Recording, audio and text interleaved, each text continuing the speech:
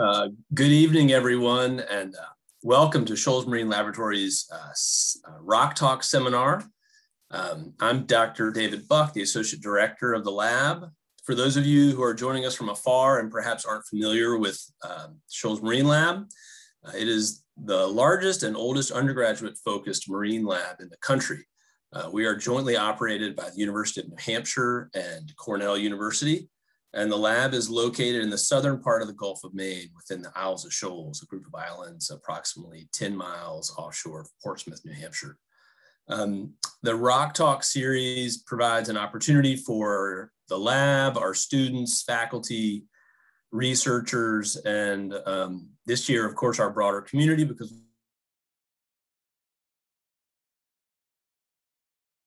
we've gone virtual uh, for us to come together, emerging issues in marine science. Um,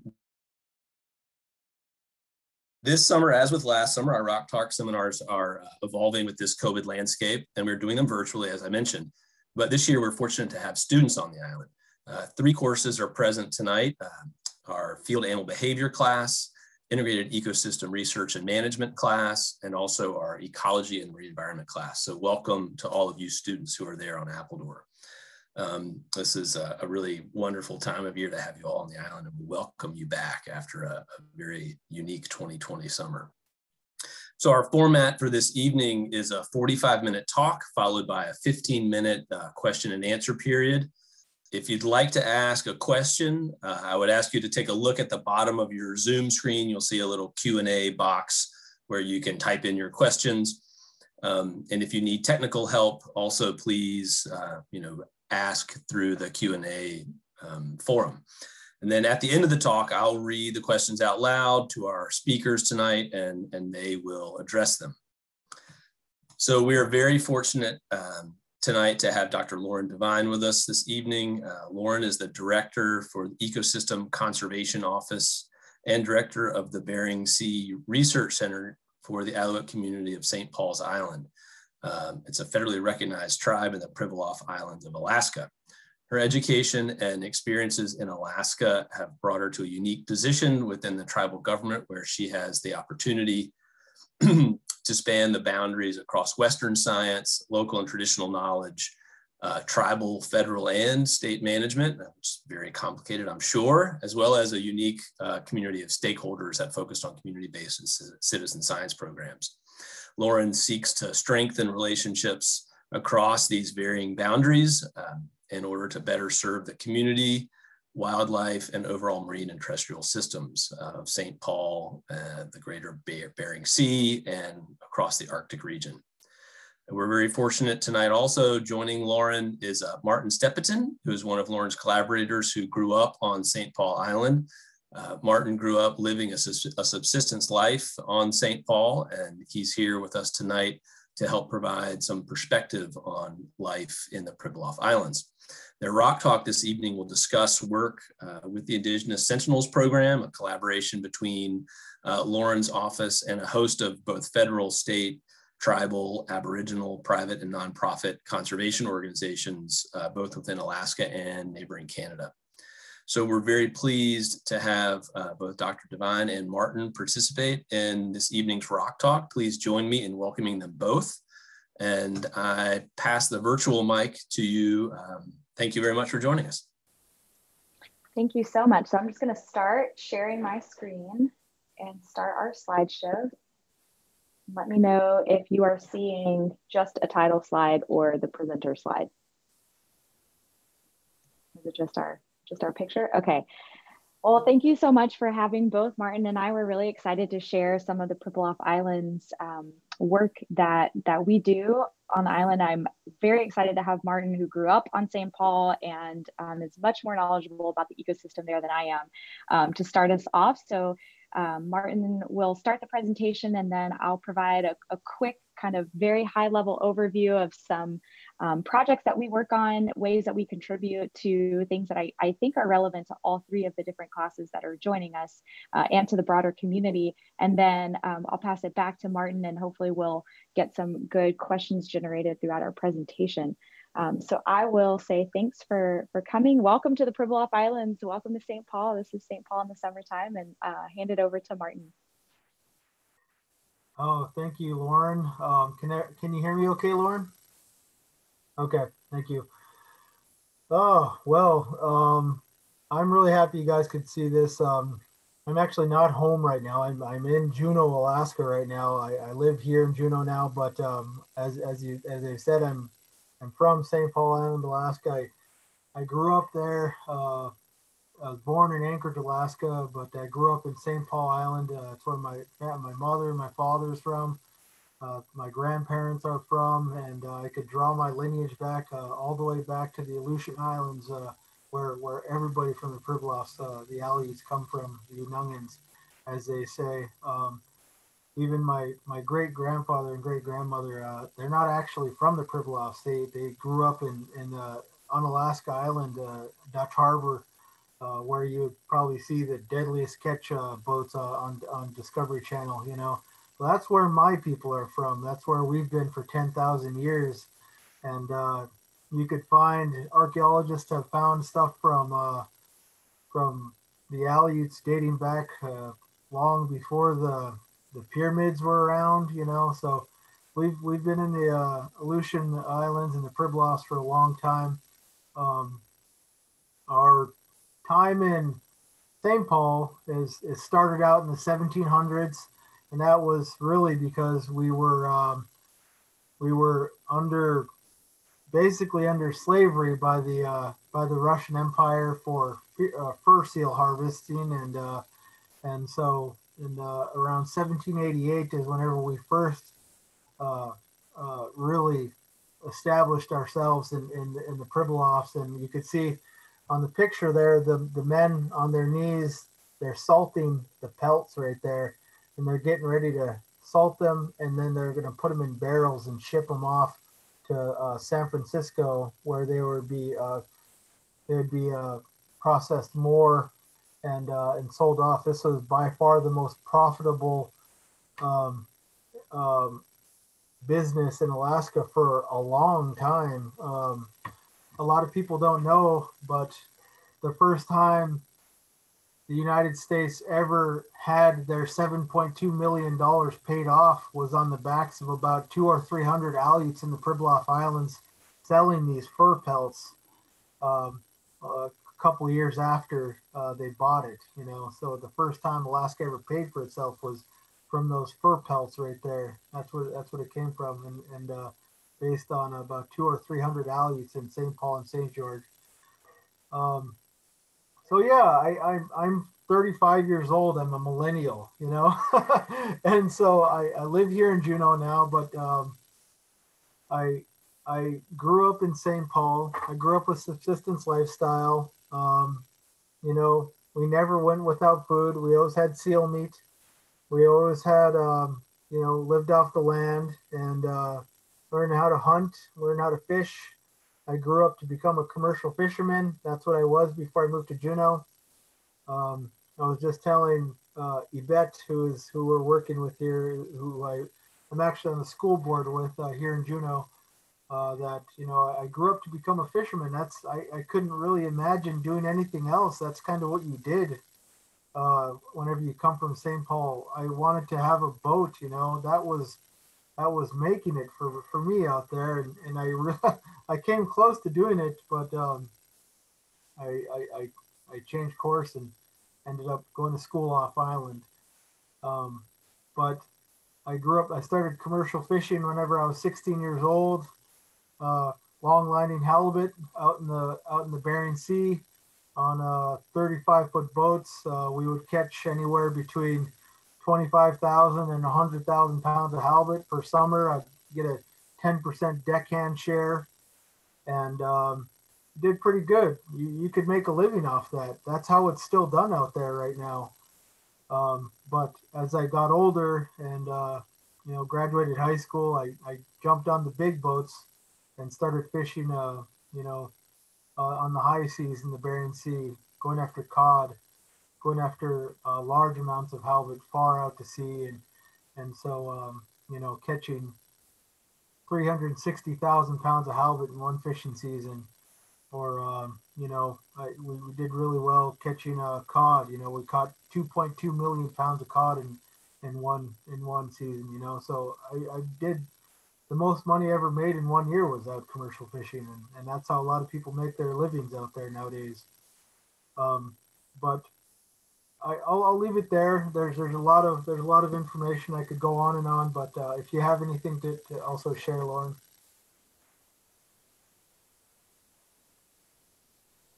I was gonna forward the slide, and maybe you could talk a little bit about um, internment during the war.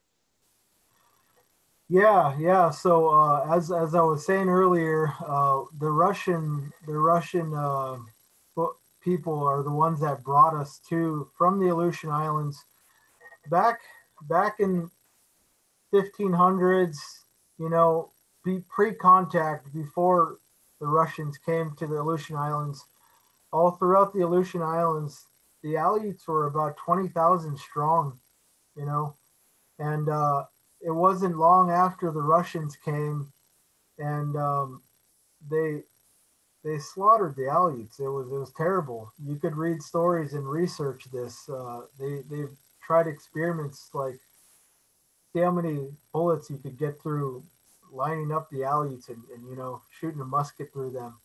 And it's it's terrible. It's a horrible history. It's a very typical uh, Western civilization coming to uh, uh, you know Native Americans, except it wasn't from the Europeans on the East Coast. It was the Russians over here for us, you know, um, in on, in Aleutian Chains and all throughout Alaska. The Tlingits here in Juneau uh, went to war with uh, went to war with the Russians, and um, so up until by the time we were moving into St. Paul in the 1700s, we were down. Our pop, our Aleut population was down around. You know, we got down to as low as 2,000 Aleuts at one point. You know, we we almost became extinct people. You know, because of the Russians, but they had us under complete control at that point. We, we went up to uh, St. Paul in uh, around the 1700s, and uh, I could I could trace back my my grandfather's, uh, my grandmother's to, to those days, and once we became established in St. Paul, um, the the Americans, the Americans uh, became uh, started taking over, and um, in as I was saying, and after the, the United States bought Alaska off of off of um, Russia for, for $7.2 million. The main reason they bought it was for the fur trade out here in the Pribilofs. Fishing wasn't didn't exist at that point. The the oil, none of that was even around yet, you know. The big fishing industry, none of that was around. The main profitable business in Alaska was this fur trade. And it was based on slavery of my people.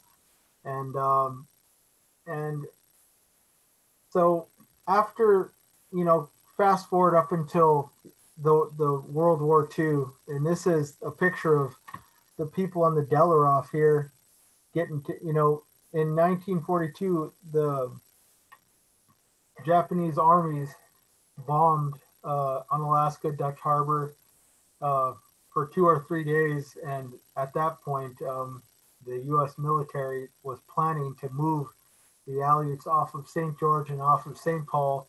And as you could see, they took about 477 of, of uh, people from St. Paul and St. George and uh, Atka, Nikolsky, Unalaska.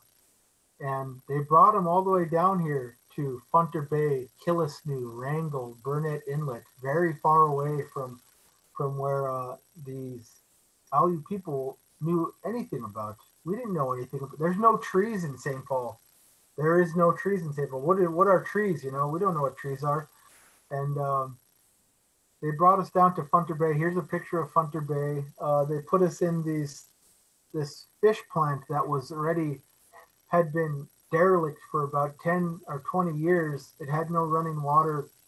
It had no heating. It had no bathrooms, nothing. There was, and you know, whenever they told us to get ready to come down here, they said, you guys have one hour to get your stuff ready and get on the boat. And we didn't have any food. We, they didn't give us any blankets. It wasn't heated, you know. I mean, if you could just imagine, and it was coming up on winter time, you know, there was nothing, and they just dropped us off in Funter Bay. And uh, my people from St. Paul and St. George were dropped off in Funter Bay. There was a couple other communities on with us uh, on the boat at the time, and that was the people from Atka, and there wasn't enough room in Funter Bay for the Atka people, so they brought them down to Killisnoo Island, and that was near Angoon, where my wife is from. My wife is from uh, Angoon, that's near uh, Killisnoo, and this, what happened after the the military brought us down was terrible. It's just a sad story. Um, Funter Bay was where about 40 people died out of about 477 of us. Because of this lack of planning no medicine no heat you know starvation malnutrition you know. And uh, it wasn't until about the 90s whenever people started you know saying hey something you know really bad happened and and uh, that's whenever they began working on taking care of this gravesite uh, where where you know these 40 people had passed away. And um, i moved down here in 2011 and i knew about this piece of history uh, from my grandmother and from from a lot of people talking about it. And, uh, i made a trip here to funter bay uh, in around 2014 2015 and um, from that trip i learned that one of the sites where the Killisnoo people were. Uh, there's we know the people from Atka and Killisnoo, and we know about 20 of them died there because of the same reason: ill planning, neglect, no food, bad water, you know, and uh, just sad story. But they that cemetery right now sits on private land, and in my culture, we take care of our cemeteries, we take care of our, our loved ones and the main reason we were worried about that is because we do want to visit the cemetery whenever we want. We do want to come and go, and and um, that's what made me start working with uh, Friends of Admiralty Island, who is uh, who oversees the Admiralty Island um, monument put in by uh, President. Help me out here, uh, President Carter. President Carter put the monument down on uh, of Admiralty Island. It's a huge island, and um, that's that's part of the the monument. That's what Friends of Admiralty does is helps protect that monument. And so we, I worked with Friends of Admiralty Island to figure out who owns the land under the Funter Bay Cemetery, and from that we figured out the state of Alaska did. And from there we went to, we approached the uh, the department that manages this piece of land, which happens to be the Department of Natural Resources. We told them what we thought, we told them what we want to do, and they supported us. They said, We know what you want to do, we support you. And that was in about 2016. And uh, from that point on, we knew we had something, we knew we could make a bill out of it.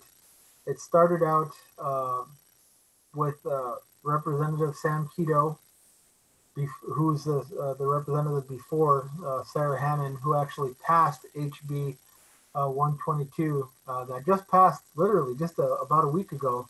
The, the governor just signed HB 122 about a week ago. This is Alaska state law here now. Um, and that protected about 260 acres where the Aleuts were buried in Funter Bay that land is now protected, now and forever. The only way to ever change that law is it would have to go through the legislature again, and the governor would have to sign off on it again. That's almost impossible task. So it's protected strong, very strong now, and uh, we know that our loved ones will, will, will rest easy, knowing that there won't there will be no logging around that cemetery. There will be no fish camp built right next to it and it's managed by the Alaska State Parks now. The Alaska State Parks has enforcement laws. They could they could keep people from uh, vandalizing.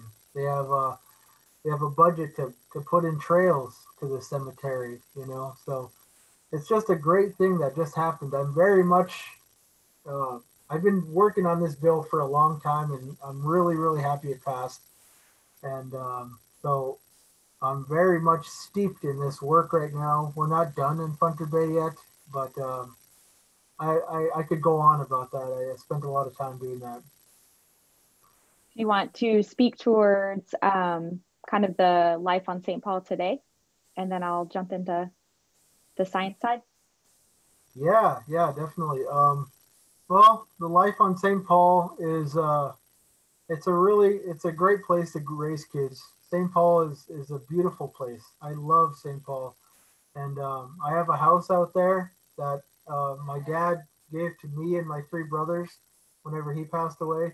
And I also bought a house whenever I was uh, becoming a successful fisherman. I, I bought off the school district and I, I rent that out to one of my friends. And, and so I'm very much connected to uh, the going ons of, of, back home still. And, and um, yeah, so every year um, they do traditional hunting and fishing. Um, they have a seal harvest every summer where they harvest uh, fur seals and uh, we go after we put away a lot of meat. Uh, people eat a lot of seal meat in st paul. I think more than anywhere else in alaska just because that's that's what's readily available to us and we grew up on it. Uh, uh you could see the men holding you know butchering a seal there and it, it really is good meat you know it could sustain a person and this is what we've come to uh, come to live off of and subsist on.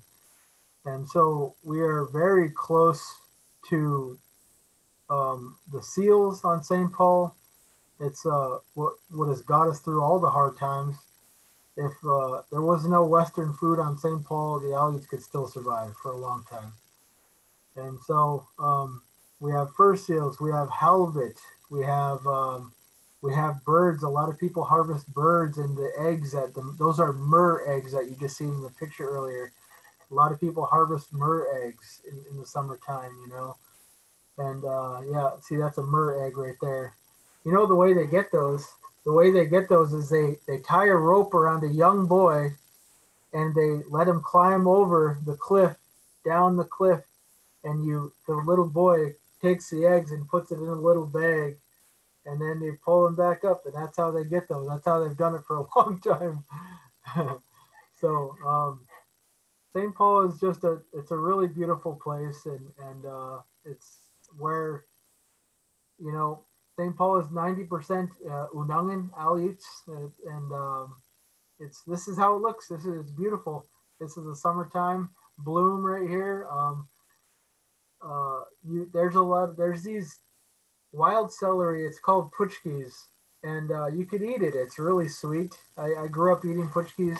I used to eat it until I got full. You know, I mean, it's really good. You know, so uh, there's berries. There's blackberries there. Uh, there's salmon berries, um, and people harvest this stuff every summer. And um, right now, right now, it's people are getting ready to gear up to go fishing, commercial fishing right now, and um, all the college kids are coming home to help their mothers and da- uh, uh, fathers uh, get get the boats ready.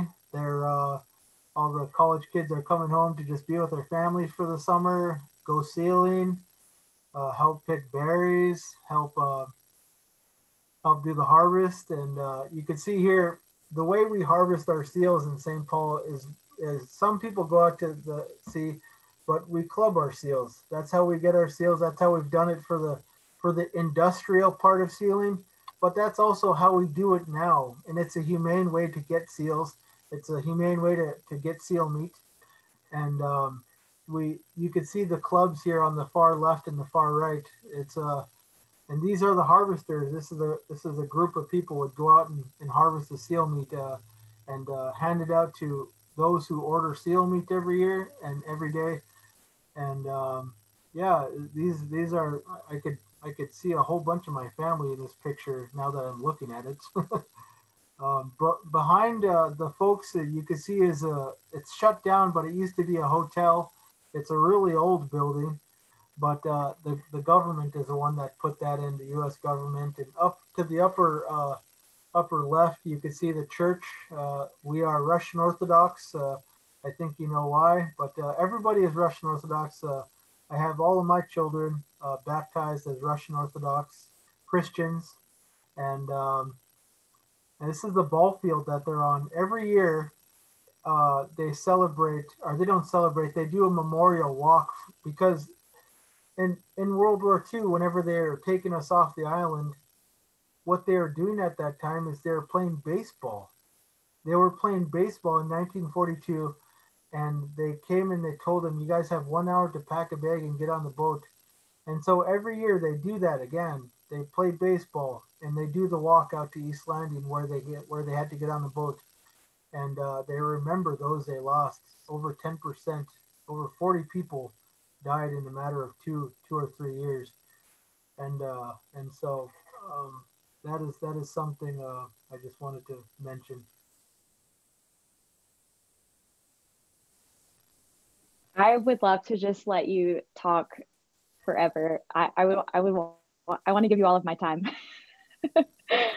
um, thanks for sharing. And and um, I let's switch gears just in the interest of time. I'll present some of my slides, and then Martin, I'm I am going to make sure to leave time um, for a little bit more from you because um, I I think the storytelling is such an important piece of this, and just understanding um, your perspective and and life on St. Paul is really important, and it drives what we do at the tribe. So um, I, I, work for the tribal government, um, and the Ecosystem Conservation Office is analogous to something like a Department of Fish and Game or a, a U.S. Fish and Wildlife Service type uh, wildlife branch. But because we work for tribal members, we serve our tribal membership, um, our Unangan community in St. Paul. I, you know, my everything that I do is um, for the benefit of, of tribal members. And so um, we, out of necessity, wear a lot of hats and we take every effort to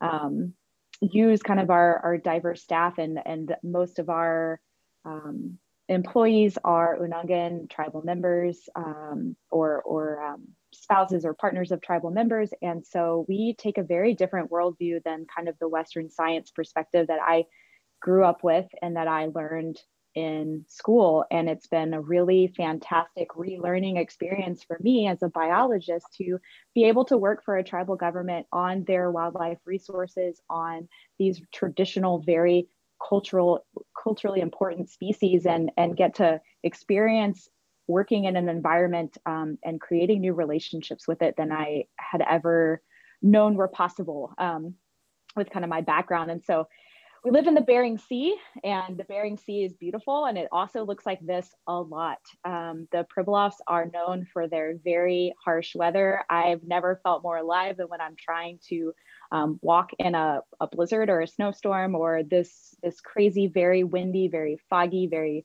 um, rainy uh, weather, and it's it's beautiful, and it gives us a really rich ecosystem to work with. And so I'm going to share just a little bit of some of the projects that we do and, and one of the first ones is is around the environment just looking at climate change and looking at the environment and we know that we have national weather service and um, national marine fisheries and we have a lot of federal and state agencies that are interested in our area of the world because we are in the middle of the bering sea and martin talked about the fisheries and they are plentiful and they're very important to our global economy, our national economy, and and um, we're right smack dab in the middle of it. And so, um, in an effort to really kind of take some of the the authority and and have our own data to work with, have our own information to be able to go to um, federal and state agencies with, and and track our own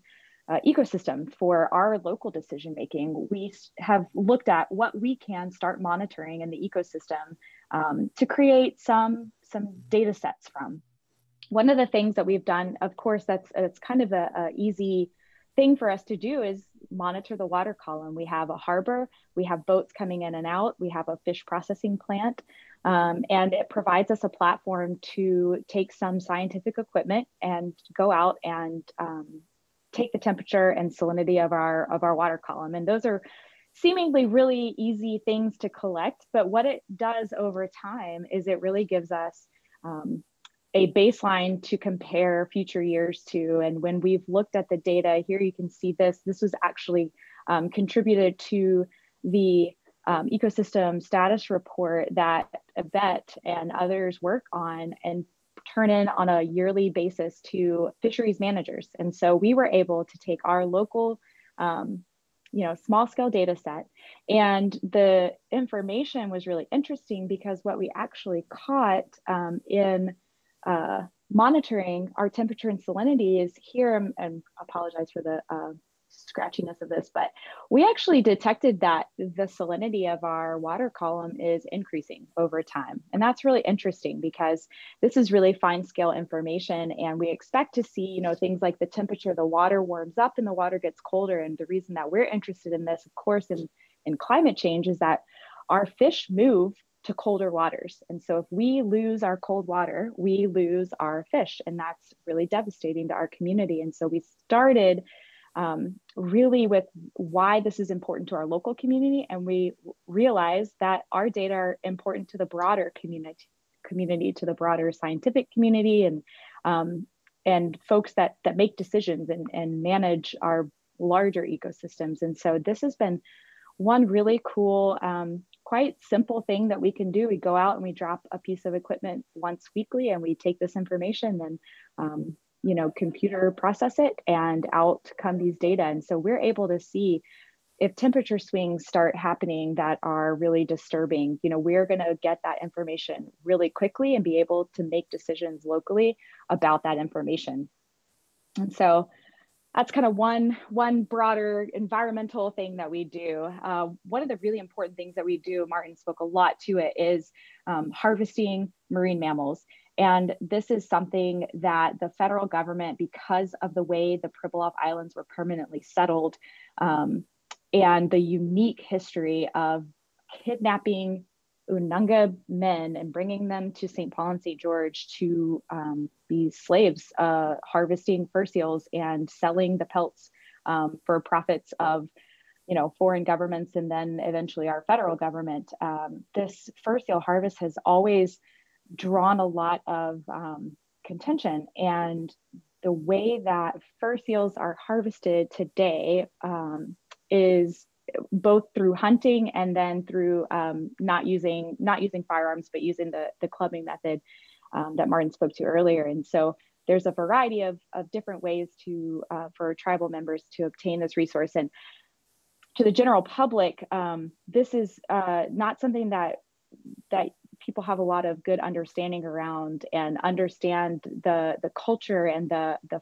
physical nutrition that it's feeding families and sustaining life in that way. It's super rich in um, vitamins. It's very hearty meat a very iron rich meat. Um, it is very wholesome.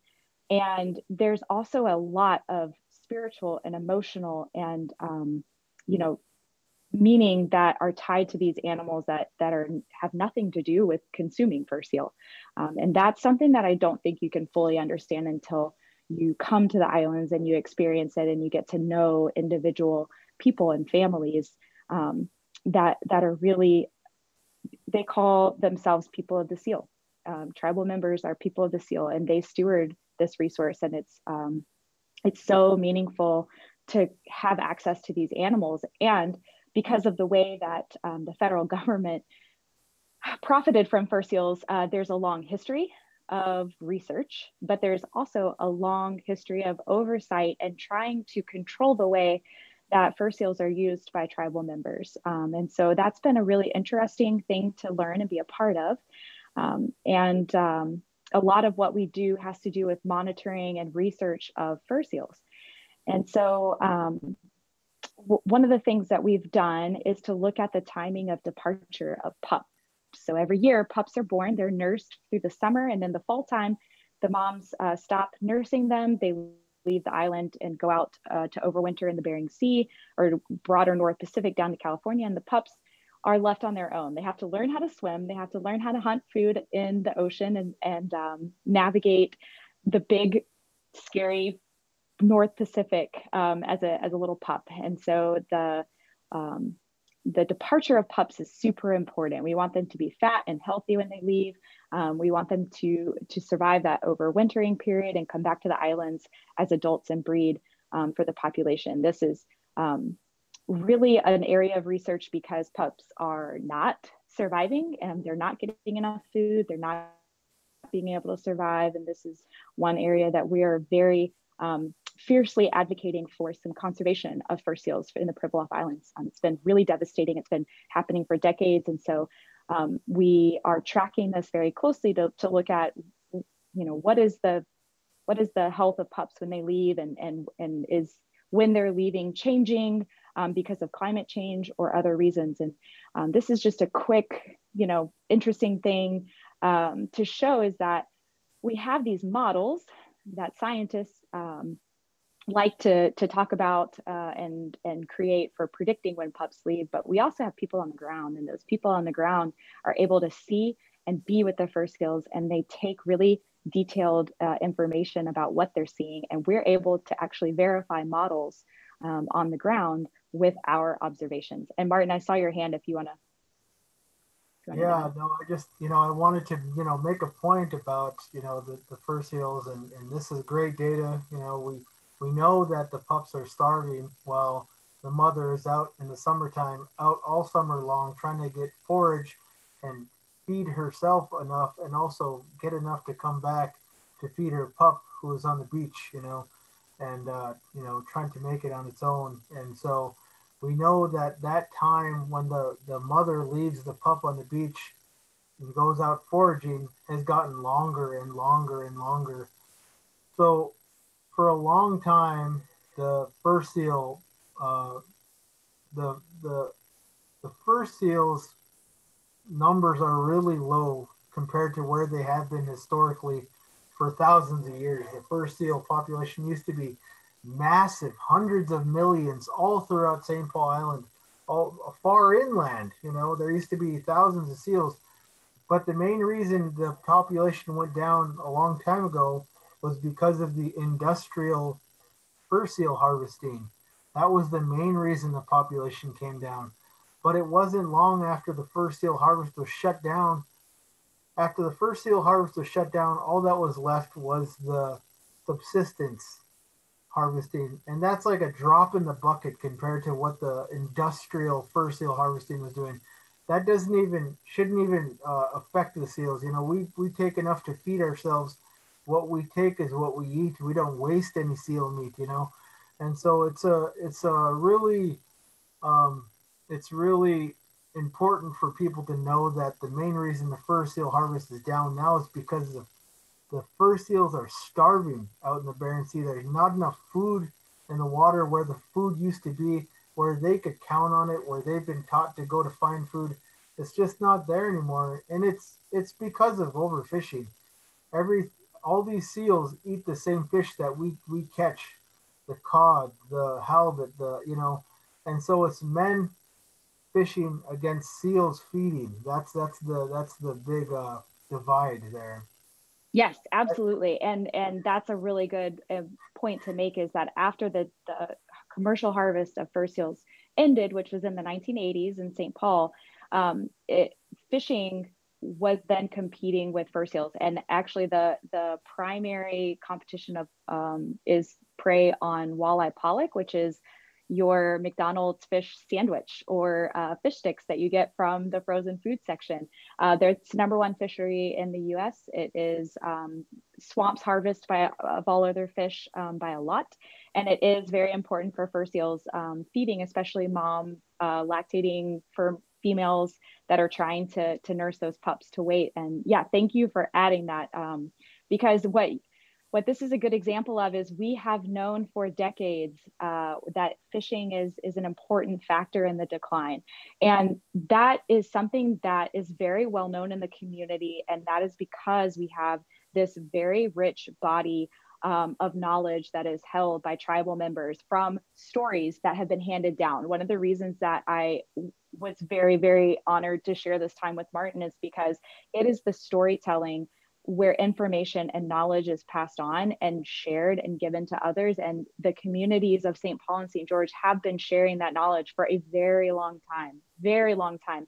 Um, and this, this slide that shows kind of the on the ground observers um, verifying a, a model that a scientist in Seattle put together in a computer lab um, to look, look at predicting pups departing. Like this is a very interesting overlay of, of traditional knowledge and these um, individuals that have extensive experience on the ground because they've been hunting and fishing their entire lives on St. Paul. They grew up on St. Paul. They've watched the fur seals year in and year out, and they understand the animal animal behavior. And they're putting very nuanced um, context to what they're seeing that you just can't get from just collecting data and information. And that's one of the reasons why it's really exciting um, to work for a tribal government in, in this kind of uh, research and monitoring, because you are getting to tap into and utilize and be a part of this whole system of knowledge that isn't documented in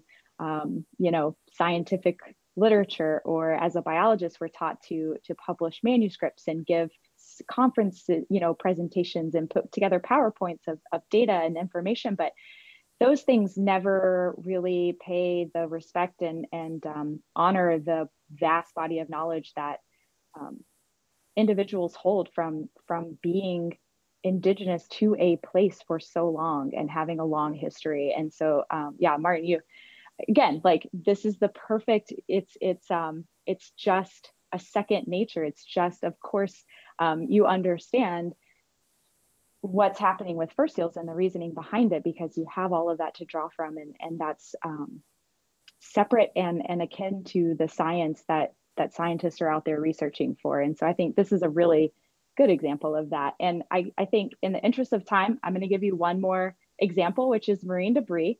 And I present marine debris because it links back to fur seals, of course, and our marine mammals and um, understanding how important marine mammals are to our community. Entanglement is one of the big activities that we do on island, and you can see why. We end up with a significant number of animals that have been um, curious as youngsters, probably swimming around in the ocean and they see a piece of net, um, most often is fishing gear that they are encountering in the ocean.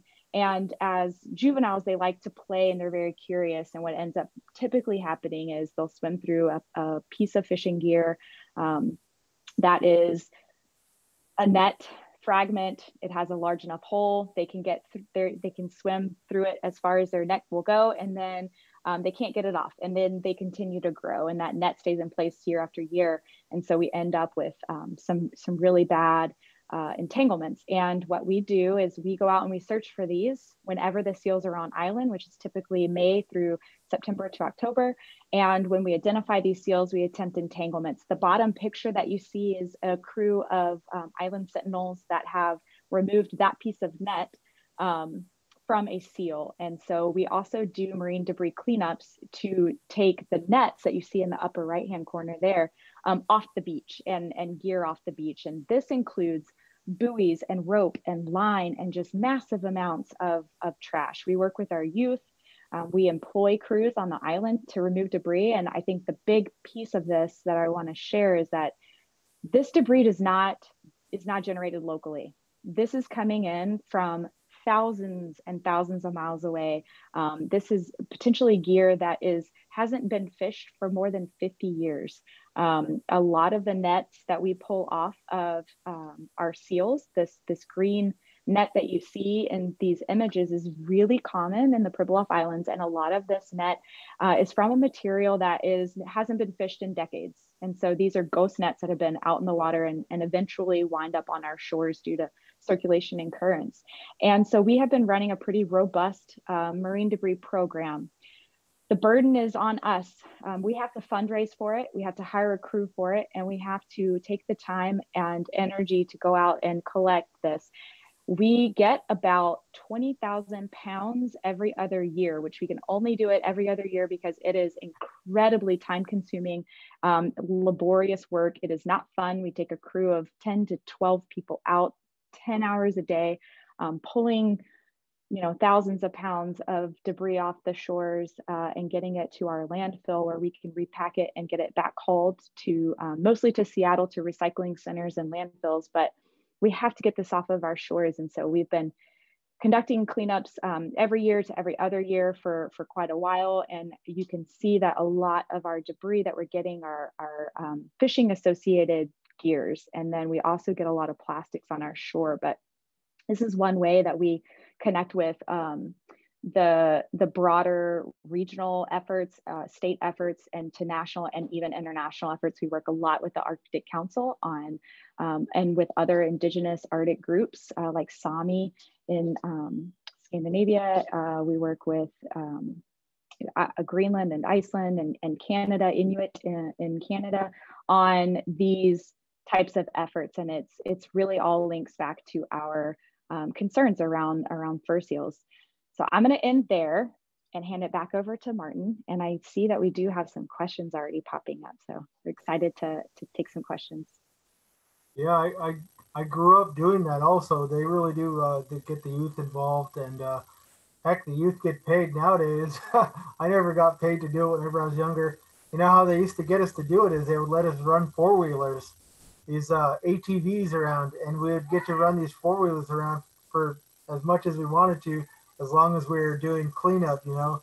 And so that's how they got me out there all summer long, pulling these nets and and so it was it's really fun, you know, and and uh, and as you grow up and and you know you get to know what you're actually doing. It was just fun to me back then, but the work really is important. Uh, this beach cleanup, as we call it, is uh, it's really important. If you don't do it, man, those beaches would be plumb full of that that uh, nasty net. All those seals have uh, getting. I, I was part of the crews. I used to uh, get those seals, uh, and you know, basically you have to find the seal, you have to sneak up on it, and you have to literally uh, wrap, wrap, get it, t- tackle it down, and then cut the net off it. And it's actually kind of a dangerous uh, endeavor. These seals are get up to five, six hundred pounds, you know. And so uh, I've, I've done that a lot, and uh, it's a it's a labor of love, that's for sure, and it's really important work. So I'm happy we got to show that.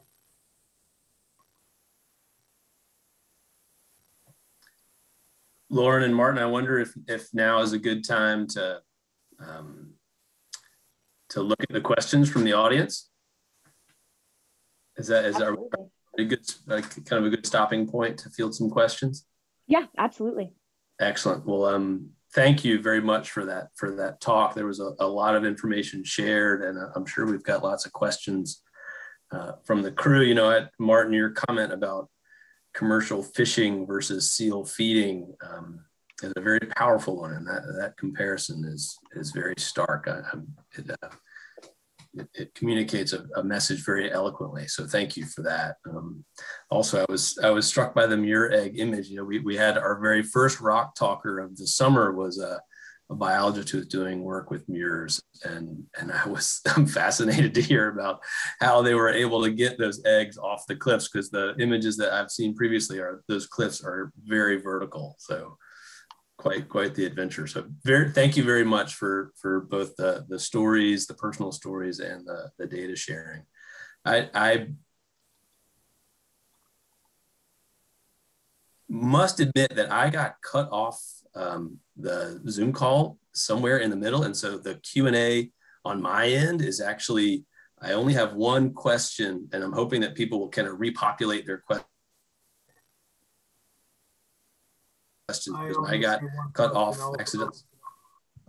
But I have a question from, from Yvette Sidden, which I imagine is coming from the Integrated Ecosystem Research and Management class. It's a question to you, Martin, um, asking if you can share a story or a perspective about changes in sea ice at St. Paul. Yeah, yeah, it's uh, you know, we used to get sea ice every year uh, whenever I was growing up, and and the winters used to be really harsh too, but that was normal. Uh, really cold, big, huge mounds of snow, and uh, it's just so bizarre now that you can go a whole winter without snow sometimes. Like that never happened, not ever when I was growing up. and so that that can happen now. You can go a whole summer, a uh, whole winter without snow, and it, it's it's uh, just crazy. It's something that is we notice every year, and it's like, well, are we gonna get snow? Is there gonna be snow on Christmas? You know, I mean, uh, stuff like that. You know, um, we didn't we didn't used to have to think like that, and we know now that uh, we know that whenever the ice comes down, it brings down uh, uh, nutrition, and it, it does it does a lot for the uh, the fish and the wildlife out in the water, and uh, so the ice coming down is a good thing for us and the fishermen, and also just it's a healthy thing that is supposed to happen that doesn't happen all the time anymore and happens less and less actually, and it's something that we follow. We follow the ice. We like to know how many how how close is it to the northern part of the island? How many miles away? Oh, the ice is getting really close. Let's go look at it. We'll drive out, go look at the ice. You know, it's coming around. You know, and so um, it's just something that we we are very aware of nowadays. Thank you for that, Martin. Lauren, I don't know if you have any comment to add yeah sea ice is is exceedingly important and it's it's true. It's something that um, residents on the island look for know about uh, are waiting for in the broader bering sea. It's super important because when it melts all that cold water goes to the bottom of the ocean and it sits on the bottom of the ocean and that's actually where a lot of species of crab snow crab and king crab um, they seek out and, and go into that cold water and it kind of serves as a refuge because some of the other um, fish species that like to eat them can't get into that cold water. And so without that cold pool of water on the bottom every year to where crabs can kind of go and hide out in until they get big enough to avoid getting eaten, um, fish are really happy because they can eat them, but we are experiencing declining populations of those species. And so then you add on to that, um, you know, these big, large scale fisheries that are also pulling the adults um, out of the water every year. Uh, and you're just not replenishing the populations at the same rate. And you're also not having those habitats be able to be there to um, provide a, a, refuge for the species that, that need that to grow. And so we're really seeing devastating um, reductions in in halibut. Um, the fishermen are are um, experiencing reduced quota to the point that we almost can't execute fisheries um, every year because we have such low quota and and uh, there's just not enough um, fish out there to go out and catch. And so it's it really is a devastating um, thing that that everyone on the island is is watching happen. And unfortunately, our uh, you know are virtually not responsible for causing those impacts like they are they're contributing so little to climate change but but definitely feeling the impacts the most yeah thank you for that perspective both of you um, a slightly different question here from from the ecology class and Dr. Jed Sparks. Um, he's asking if are there other parts of the seal uh, that is still used besides the meat? I wonder if I, either of you could speak to that, Martin, perhaps. Yeah, we use we use every part of the seal meat, and and uh, every part of the seal was used as tools. You know, it was used as uh, we use the fat to uh, we use the fat to to help um, you know a, a, bunch of a bunch of different things. We use the uh, if you look at the clothing of the Aleuts pre-contact, it was all made out of uh, seal guts. It was made out of the, the, the fur seal pelts we would use the bones for tools. We would use the teeth for hunting, and and so we really used every. You know, none of it went, to waste, and it was all used uh, and uh, all eaten too. You know, so none none of it goes to waste. We even have youth at the at the seal harvest um, that that take the throat tissue and you can process it into a fabric and it's a waterproof fabric and there's a lot of crafting that can be done with that. Uh, it's called chukun um, or the the throat tissue and it's a really interesting process and it's um, it's amazing you can make uh, waterproof materials out of the intestinal linings the the throat linings. Um, it's there's we have uh, crafts made out of the the ears of the seal. It's yeah literally every part of it I used to I used to go around as a youth and collect those uh, as a young man. I used to that was uh, I was hired by the uh, Aleut teacher uh, out of out of the school to harvest some for her, and that was part of my job. And I would ask, you know, hey, could I take could I take the throat? You know, the guy would be cutting the seal up. Oh, go ahead. You know, okay, thank you. I'll go in there and cut the throat out myself. You know, and and uh, take it in my bag and bring it to the teacher, and she'd give me a you know couple bucks for it or something, and and uh, they would use that for her Aleut class and, and teaching other kids, and uh, yeah. Cool. The, yeah, this next question is um, definitely a question for both of you. Um, it comes from Elizabeth Craig, who works on White and Seavey Islands. It's a tern colony that Shoals Marine Lab helps uh, support the monitoring and research of, and Liz is uh, one of the directors of that program. So she's asking, do you have any advice for connecting and including indigenous people in one's research? Obviously her, in her case, it's here in New England, but at least speaking um, for researchers, either of you have any advice that might help kickstart a relationship and a collaboration? That's a that's a tough one. Um, a lot of so I get a lot of cold calls and cold emails um, from graduate yeah. students, from from professors, and I'd say the best way is to reach out and and try to make a connection to the community that you um, want to work in.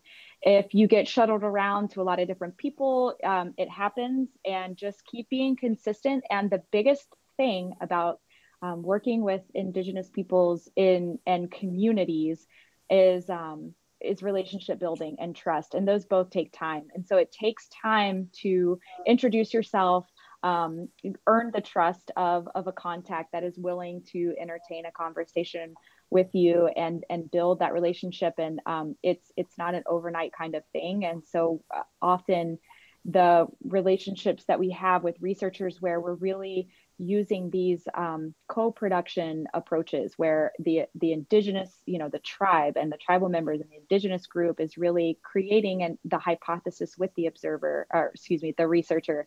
And the and the projects are are um, relevant to the community. That's where we have taken time to build those relationships and projects together. And so um, coming to a community and and just pitching your own idea that's already ready to go or you already have a proposal written or a, or a fund a funded thing is um, it's it's not maybe relevant to the community's mm-hmm. priorities and needs sure. and so um, i think that's the biggest thing is is really doing the research and the work to um, to figure out how to make your work relevant and helpful to the community to give give back. Um, Western science is very extractive, and so we really like to see that flip on its head and and um, you know build the relationship where there's mutual understanding and trust and respect to to do research projects. But at the end of the day, it's um, cold cold calls and, and emails and and uh, making a connection. Yeah, yeah, definitely. I mean, uh, there, there's there's definitely relationship building. Uh, me and Lauren were talking earlier about actually showing pictures of the seal harvest. Uh, that's kind of a taboo subject back home. We don't like to do that.